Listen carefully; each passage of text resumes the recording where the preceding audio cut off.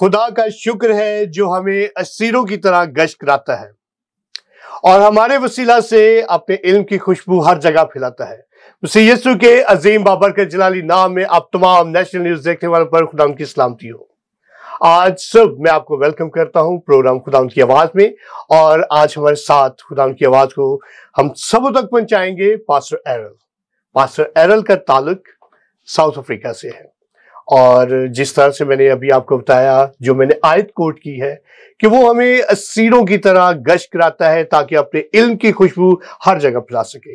तो last year भी वो हमारे साथ स्टूडियो में मौजूद थे और मुझे बहुत खुशी हुई कि इस मरतबा जब वो दोबारा उन्होंने विज़िट किया तो उन्होंने कहा कि हम आपके स्टूडियो में नेशनल न्यूज़ स्टूडियो में ज़रूर आएँगे और अपने पैगाम को रिकॉर्ड करवाएँगे। तो मेरा दिल नहायत खुशी से ममूर है।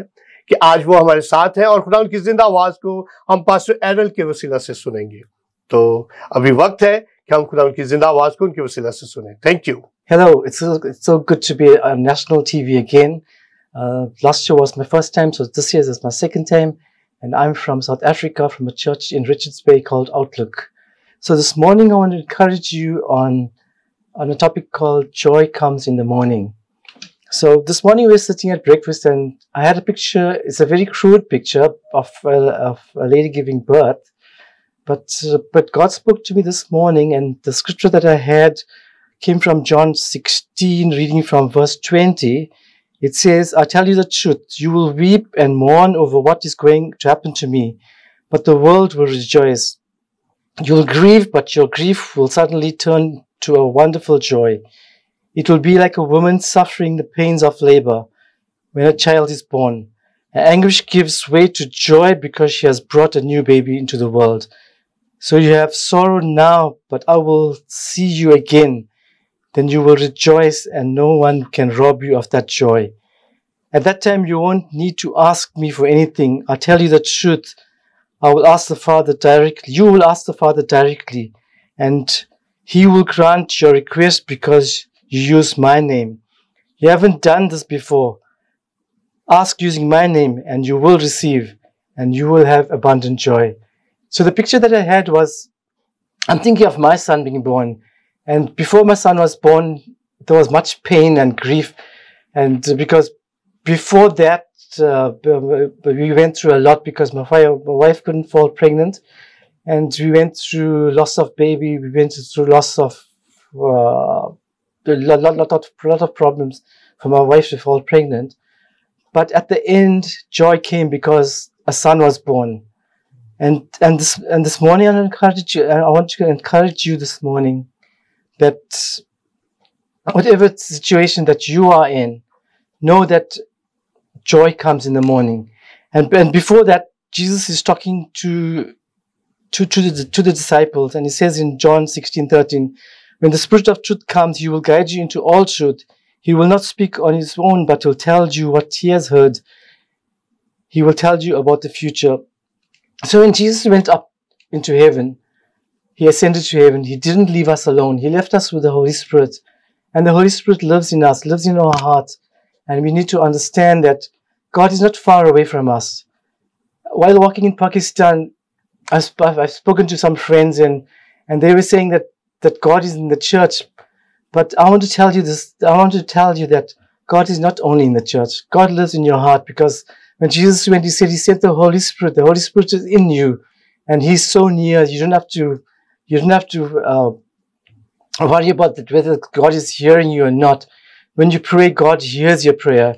Because we, as I read in the scripture, it says in the end, it says, I tell you the truth, you will ask the Father directly and he will grant you your request because you use my name.